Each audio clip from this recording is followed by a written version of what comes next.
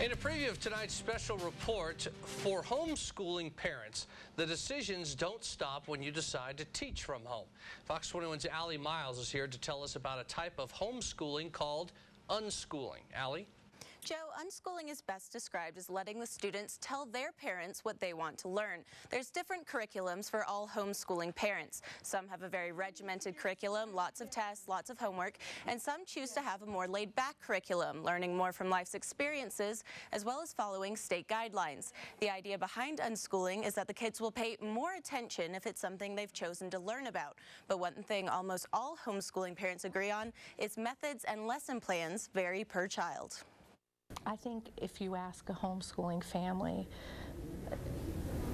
how they do it, it would be different for each of their children because it's, you know, all children are different.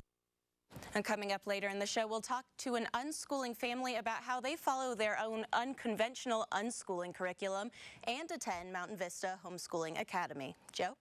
All right, very good. Thank you, Allie. Well, and there are several ways you can educate your child, but have you heard of unschooling? We'll show you how it works next in tonight's special report.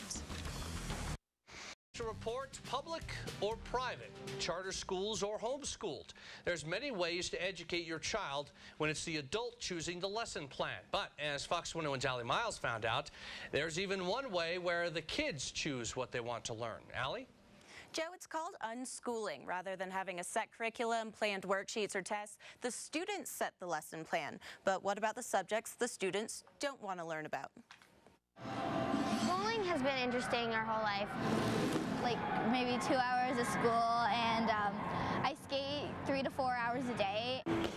Three to four hours a day, five to six days a week. Sometimes we skate Saturday. Every once in a while, we'll take it off. 17-year-old Joel, 15-year-old Rebecca, and 12-year-old Annabelle are used to spending time at the ice hall. I grew up at the rink there. But they're not used to spending a lot of time in the classroom. The kids uh, sometimes have told me that they think high school is like high school musical. The trio of siblings are national skating champs and homeschooled. I feel like my kids are happy.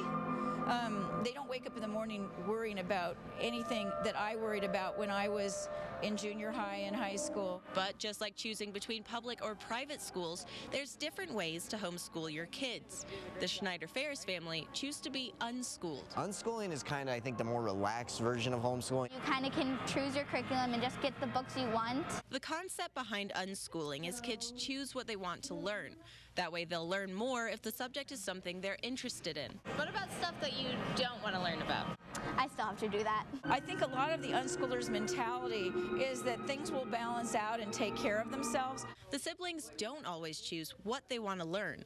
One day a week, they go to Mountain Vista Homeschooling Academy. What do you make the with? They come for enrichment activities in English, art, history, critical thinking, technology, and science. Started by homeschooling moms, the idea behind the Academy is a place for extracurricular activities that don't interfere with homeschooling curriculum. But by the last test, you're just like, I want to go home. It's about understanding that all parents should be able to choose what they feel is best for their children without judgment as long as their children are being educated. And for the Schneider Farris kids, the only problem they have with the way they're taught is the stereotypes that come with it. Homeschoolers aren't crazy.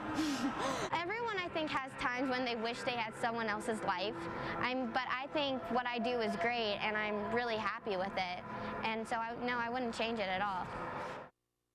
The siblings' mom, JoAnn, says most homeschooling families actually are unschooling families. But because it seems so strange from an outsider's perspective, the families don't like to admit that they do unschool. Nikki? Great. Thanks so much, Allie. Well, man.